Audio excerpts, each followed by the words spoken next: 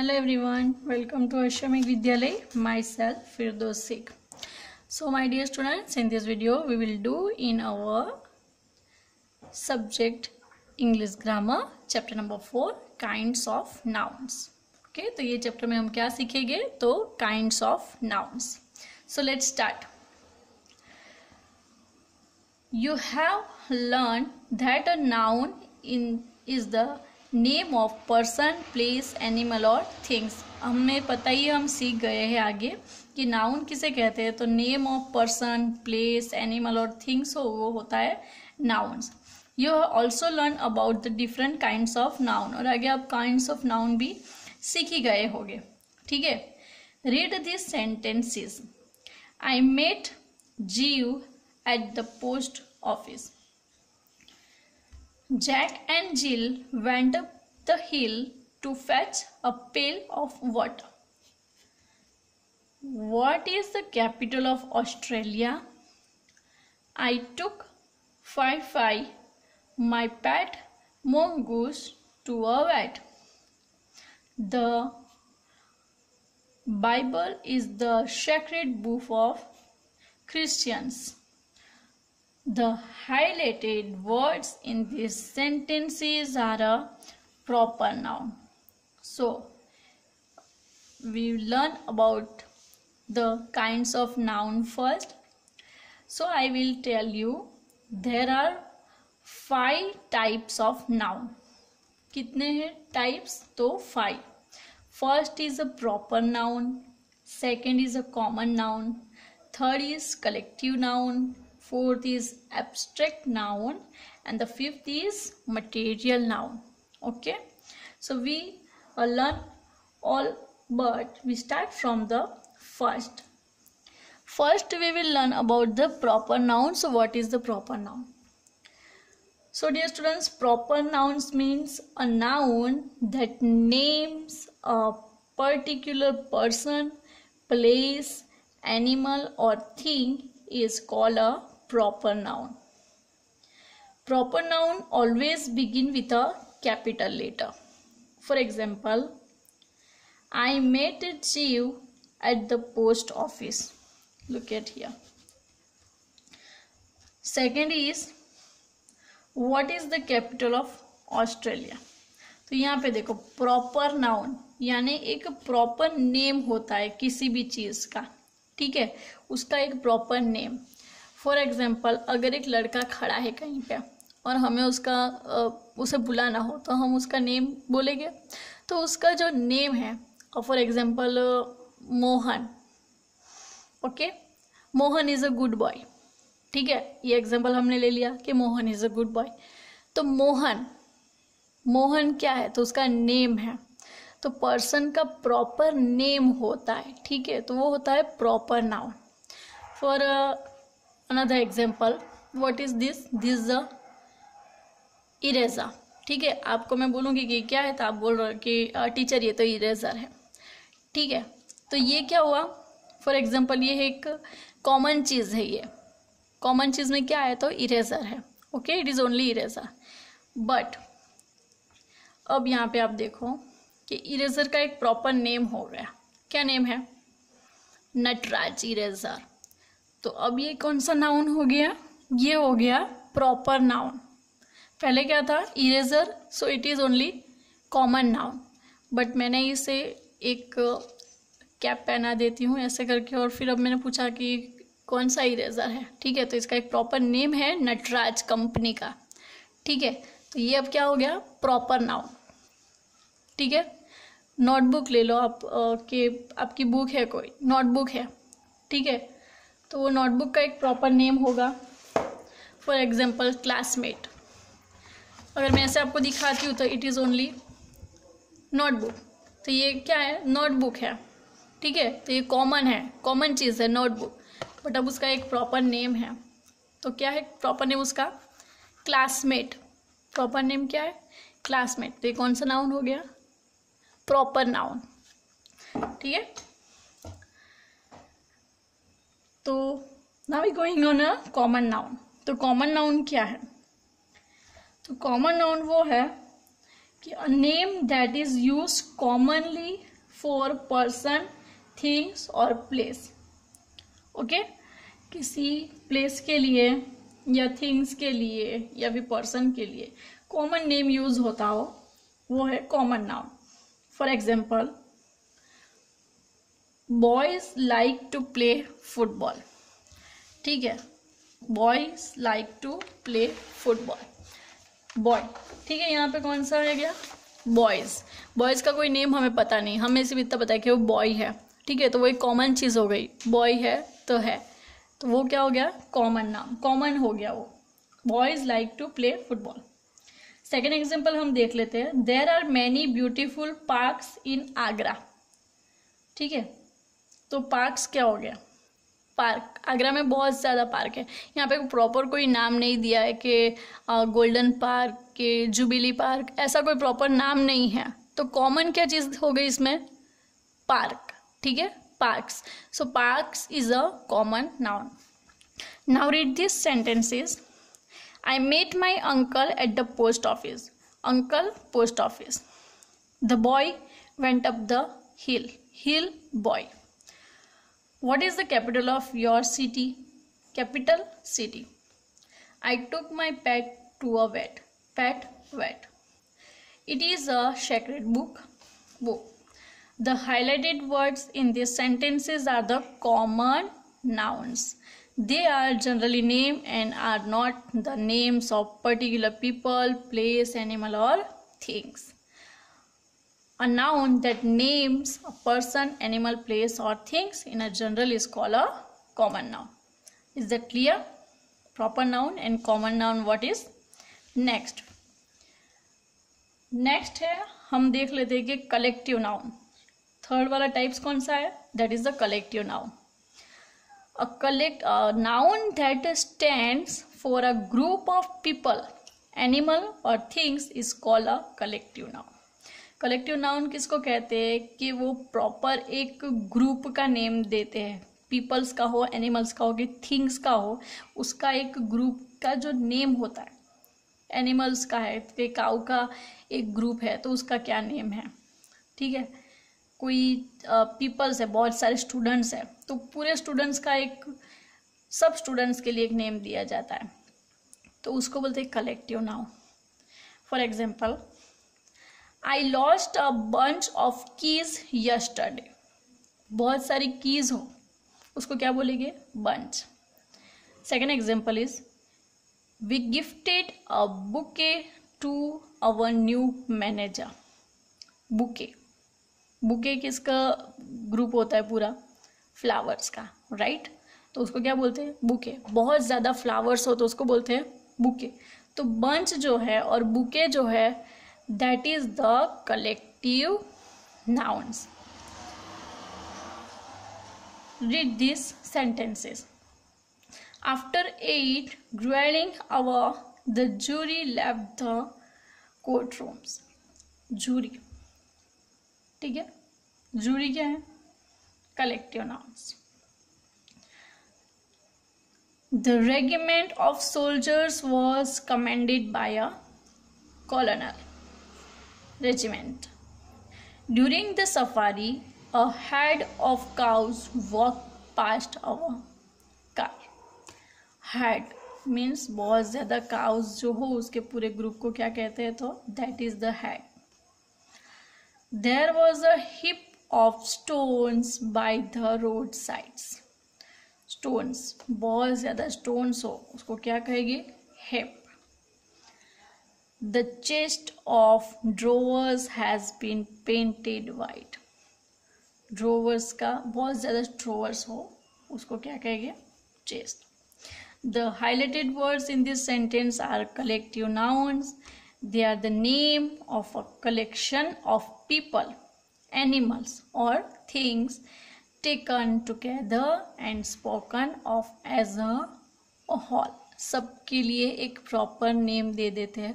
वो होता है collective noun a noun that stand for a group of people animal और thing is called collective noun is that clear now before the going of this exercise we learn more of kinds of nouns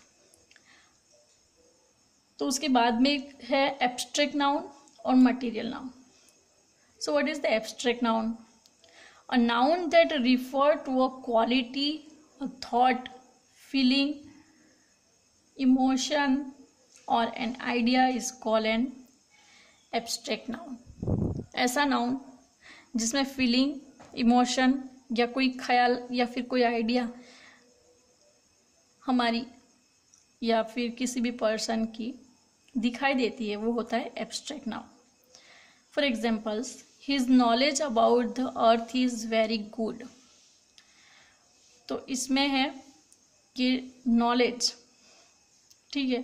Knowledge the abstract noun wisdom can not be bought wisdom can not be bought so wisdom is a abstract noun is that clear okay and the fifth is material noun तो material noun क्या है? the name of a material और substance of which the things are made of is called material noun और material nouns के two types हैं countable और uncountable that we refer so next we going on a, our Underline the nouns in these sentences. Write P for proper noun, C for common nouns and CL for collective nouns. Okay. So look at the first. The pile of books had to be sent to the library. So look at here. Pile. Pile is a collective noun. Book is common noun. So we write c here we write cl here and library is a common noun. So we write c here. Okay. Next is the golden temple. So it is the proper noun. Amritsar is a proper noun. That two are the nouns in this sentence. So the golden temple is a proper noun and the amritsar is proper noun. So we write p on the words third one is the cat sat on the chairs and slept. So cat is a common noun. And the chair is also common noun. Okay? So we write c on a cat and here on the chair. That two are our common noun. Now we going on our next page. Look at here.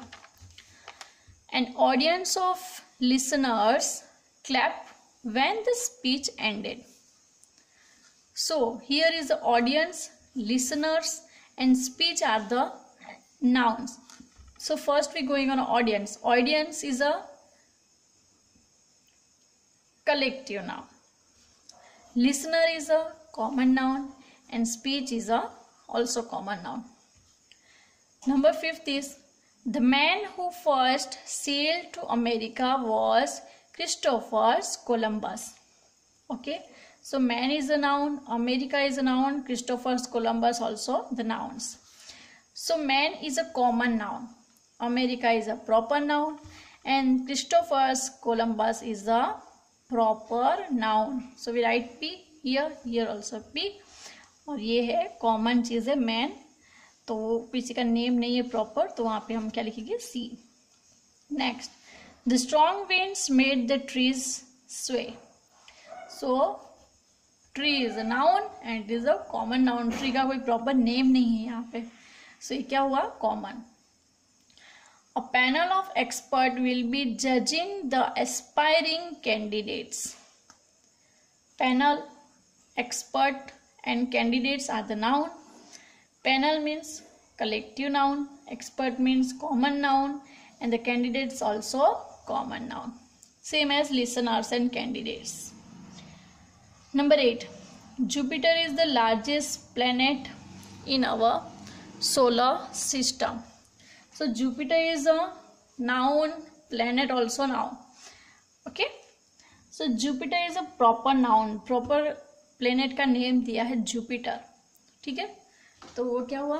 Proper noun और यहाँ पे देखो planet only so it is a common noun next is the brave soldiers protect our nation from the enemies. The brave soldiers, soldiers is a noun, nation is a noun, and enemies also nouns. So well, first we find out the type of these soldiers. Soldier is a common noun, nation also common noun, and enemy is also common noun. Next is the flock of birds headed towards warmer countries flock and countries birds also flock जो है वो है collective nouns birds तो common noun है and countries are also common noun so is that clear here our exercise this one completed now we going on our practice look at here Write the first proper noun that come to your mind when you read these common nouns. अब यहाँ पे क्या लिखना है कि ये जो noun दिए ना कॉमन नाउन इनके लिए एक प्रॉपर नाउन आपके दिमाग में जो भी आए वो आपको यहाँ पे लिखना है। ये कॉमन नाउन है फेस्टिवल रिवर मंथ बुक इनका कोई नाम नहीं दिया है। बट हमें क्या लिखना है? इसका प्रॉपर नाउन लिखना है। ठीक है? तो कैसे लिखेंगे? लुक एट हियर कंट्री तो कोई भी कंट्री का आप नेम यहाँ पे लिख सकते हो, वो उसके लिए हो जाएगा प्रॉपर नाउन मैं लिख देती हूँ यहाँ पे India so India is a proper noun ये क्या हो गया? प्रॉपर नाउन कंट्री कौन सी? कंट्री कोई भी हो सकती है तो ये हो गया कॉमन नाउन कॉमन ठीक है? बट मैंने उसे प्रॉपर नाउन बनाने के लिए क्या लिखा? इंडिया तो इंडिया कंट्री हो गई। उसके बाद है ऑथर तो ऑथर क्या है? that is the common noun common है बहुत सारे ऑथर होते हैं okay but we give the name of any that is the Lewis Carroll it is the name of author famous author lewis carroll so now it is a proper noun next is book so write any book name i write here hook i don't know That is the proper noun mountain, mount Everest mountain तो proper noun क्या है? Mount Everest उसके बाद है month तो कोई भी month मैं यहाँ पे लिख देती हूँ उसको प्रॉपर नाउन बनाने के लिए। I can also write January February March April but I was return here April okay so that is the proper noun. Day you may also write any day's name here but i was written here monday. It is my proper noun. River yamuna. Film war. Festival holy monuments is statue of unity. State gujarat. Ocean pacific ocean. Planet mars. Singer arijit singh. Okay? So it is my exercise was completed here i hope you understand this one okay then we going on a next exercise solve the crossword on collective nouns with the help of hints and complete the expression यहाँ पे हमें across और down दिया हुआ है और उसके सामने हमें उसकी प्रॉपर जो क्रॉस वर्ड सिस्टम जो होती है ब्लैंक्स जो होती है वो आपके दूसरे पेज के ऊपर दी हुई है। ठीक है?